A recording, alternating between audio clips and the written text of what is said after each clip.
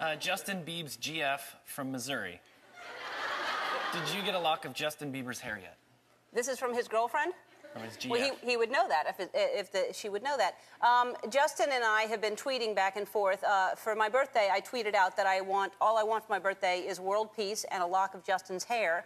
And then he tweeted back that he'll bring it to me next time he's here. And actually, he'll be here next week. So I am, I'm not going to cut it myself because I know how important his hair is, uh, and I have the shakes.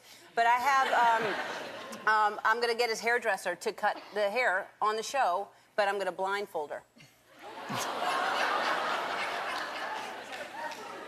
we'll cut, and he'll have a whole new do. And I'll be responsible for it. It'll be great.